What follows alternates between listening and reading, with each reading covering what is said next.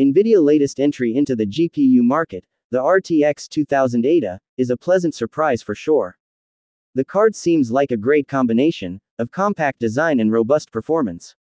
However, it is noteworthy that the card is aimed at small form factor workstations.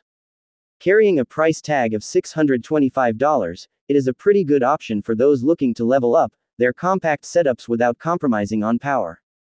The card, however compact, has solid performance, with over 2,800 CUDA cores. The RTX 2000 Ada brings significant upgrades over its predecessors, notably with a substantial 16 GB of GDDR6 memory, equipped with ECC for added reliability. Despite its smaller size, the GPU does not skimp on performance, boasting 2,816 CUDA cores, 88 Tensor cores, and 22 RT cores. NVIDIA claims impressive compute performance, including 12.0 teraflops of single precision performance, making it a formidable tool for a variety of tasks. Physical attributes also get a notable mention.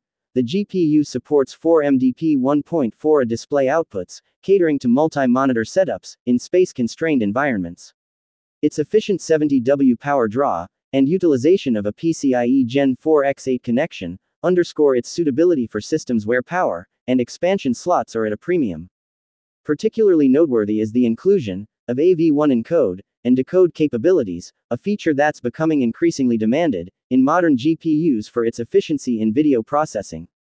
However, it's essential to note that the RTX 2000 Ada might not be the go to for those engaged in high end design work or AI research.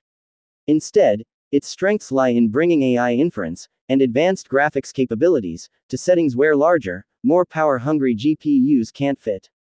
From multi display workstations to AI enhanced workflows, it is expected that the RTX 2000 Ada will make its mark as a versatile and energy efficient option for professionals and enthusiasts alike.